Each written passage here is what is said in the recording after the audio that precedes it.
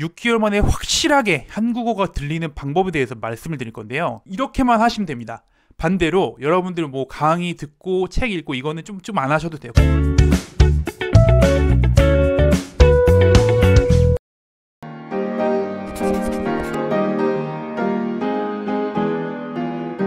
여러분 안녕하세요. 반갑습니다. 저는 모두의 한국어 연구소장입니다. 이번 영상에서는 여러분들의 귀에 한국어가 확실하게 들리는 방법에 대해서 말씀을 드리도록 하겠습니다. 심지어 여러분들이 열심히 공부하지 않더라도 한국어가 들리는 방법이기 때문에 꼭 이 영상을 끝까지 봐주셨으면 좋겠습니다.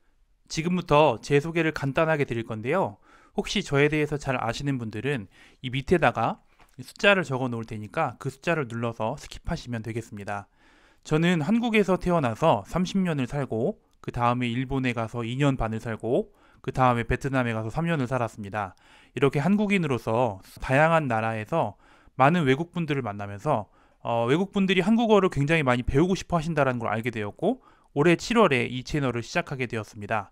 그래서 이 채널에 있는 영상들을 보시면 한국어와 한국 문화에 대한 많은 것들을 배우실 수 있게 됩니다. 특히 이번 영상에서는 여러분들이 별다른 노력 없이 한국어를 들을 수 있는 그런 방법에 대해서 말씀을 드리려고 하는데요. 어, 제가 일본어를 배우던 경험을 먼저 말씀을 드릴게요.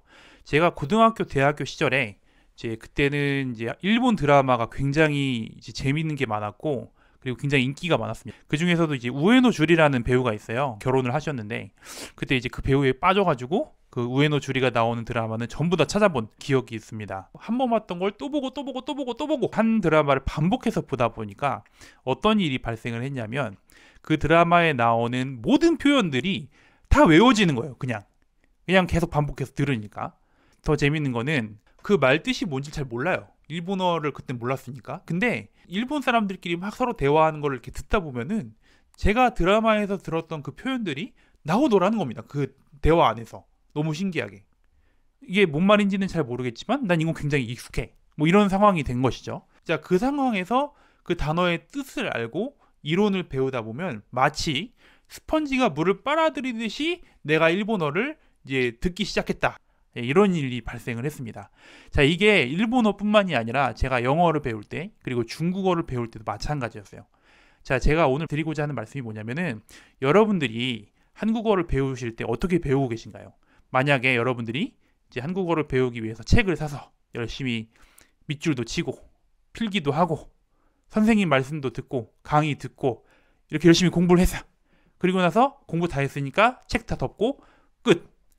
이렇게 만약에 공부를 하고 계시다라면 여러분들이 10년을 공부해도 절대 한국어가 들리는 일은 없을 겁니다. 무슨 말이냐면요. 언어라는 거는 이 어떤 지식과 이론 이거를 안다고 해서 끝이 아니에요. 여러분들이 모국어를 배우던 때를 잘 생각을 해보세요. 여러분들이 노트 필기를 하고 강의를 들으면서 지금의 모국어를 배우신 게 아니에요. 여러분들은 어, 아주 어릴 때부터 여러분들의 부모님 그리고 여러분들의 친구들이 하는 이야기들을 듣고 그걸 따라하면서 반복적으로 훈련을 하면서 터득을 한 겁니다. 똑같은 방식으로 언어를 공부해야 돼요.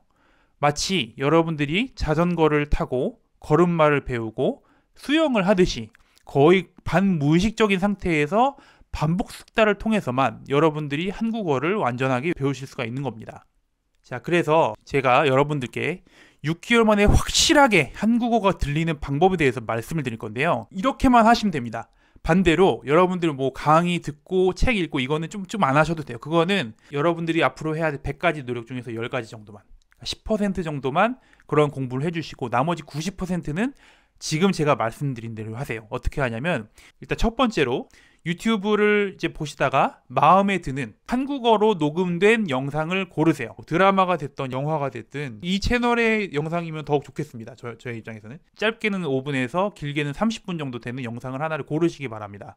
두 번째로는 그래서 그 영상을 반복적으로 들으세요. 반복적으로 100번, 1000번 제 경험상 한 3개월은 듣다 보니까 무의식적으로 이제 외워지더라고요.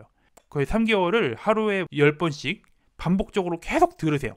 그리고 세 번째, 그 말이 무슨 뜻인지는 몰라도 됩니다. 괜찮아요. 그냥 듣기만 하세요. 그리고 괜히 여러 영상을 보실 필요가 없어요. 한 가지 영상만 골라서 그것만 계속 파시면 됩니다. 그렇게 세 달을 계속해서 반복해서 들으시다 보면 감이 오실 겁니다. 제가 지금 무슨 말을 하고 싶은 건지. 아, 뭔가 이 표현은 내가 무슨 말인지는 잘 모르겠는데 굉장히 친숙하게 다가와. 그 다음에 이제 한국 사람을 만나서 얘기를 하다 보면은 이제 그 동영상에서 들었던 표현들이 나올 거예요. 신기하게도. 왜냐하면 언어라는 거는 얼마 되지 않은 표현들의 반복이니까, 패턴이니까. 그런 일들이 발생을 할 겁니다. 그러면은 아 그때 그 모두의 한국어 연구소장이라는 사람이 얘기한 게 이런 거였구나라는 감이 올 겁니다. 그러면 여러분들 성공을 하신 거예요. 그 상태에서 한국어와 관련된 이론들, 뭐 단어나 문법이나 이런 것들 좀 배우시다 보면은 금방금방 흡수가 되면서 여러분도 모르는 사이에 한국어가 들리기 시작하는 겁니다. 이 영상을 비롯해서 이제 이 채널에 수많은 영상들이 한국어로 녹음이 됐습니다. 그 이유가 있는데 한국어를 많이 들으시라는 거예요. 그러니까 지금 이제 이 영상도 그렇고 이제 제 채널에 있는 많은 영상들 중에서 마음에 드는 것들을 하나 고르신 다음에 그것만 반복해서 들으세요. 제가 지금까지 말씀드린 것처럼 여러분들의 무의식 속에 한국어가 이제 남게 되는 거죠. 이제 그렇게 이제 한국어가 들리기 시작하면은 이제 댓글로 이제 적어주세요. 아, 저 선생님 저 여기 이렇게 성공했어요. 이렇게 적어주시면 다른 분들도 자극을 받아서 열심히 공부를 하시게 될 겁니다. 그리고 여러분들이 계신 나라에서 어, 한국어로 된 영상도 보기 힘들지만 그 영상이 여러분들의 나라의 언어로 자막으로 되어 있는 경우는 극히 드뭅니다. 그래서 저는 이제 가급적이면 특히 이제 유튜브를 많이 보시는 분, 나라들, 특히 한국어를 많이 공부하시는 나라들의 자막들을 달아놨어요. 그래서 한 10개국 정도가 되는데 그 10개국의 이제 자막들을 보시면서 죄송하지만 제가 모든 언어를 다 하기는 어렵습니다. 그 자막을 보시면서 동영상의 말뜻을 좀 이해를 하시고 무엇보다 중요한 건 이겁니다. 뭐 말뜻을 몰라도 되니까 무조건 반복해서 보세요. 무조건 반복해서 들으시고 하루에 10번씩 3달 이렇게만 들, 들어주시면 여러분들은 여러분도 모르는 사이에 여러분들의 무의식 속에 한국어가 남게 되고 한국어가 들리기 시작할 겁니다. 예, 이 영상을 보시고 공부를 하실 때 궁금한 점이나 의견이 있으시면 이 밑에다가 댓글로 달아주시기 바랍니다. 반드시 한국어나 영어일 필요도 없고요. 여러분들이 쓰시는 그 모국어로 달아주시면 됩니다. 그러면 제가 그거를 구글 번역기로 번역해보고 거기에 맞춰서 댓글을 달아드리거나 아니면 정말 좋은 의견이 있으실 경우에는 영상으로 만들어서 여러분들께 소개를 해드리도록 하겠습니다. 앞으로도 계속해서 한국어 공부법과 관련해서 많은 정보들을 공유를 해드릴 거고요. 다음 주 이 시간에 올라오는 영상에서는 한국어를 잘 말하는 법, 한국어의 복잡한 문법을 공부하는 법에 대해서 말씀을 드리도록 하겠습니다. 알람 설정을 해주시면 여러분들 핸드폰에 이 영상이 올라올 때 알람이 뜰 겁니다. 구독과 좋아요 눌러주시고 어, 이 채널의 팬이 되어주시면 감사하겠습니다. 오늘도 끝까지 시청해주셔서 진심으로 감사드립니다. 감사합니다.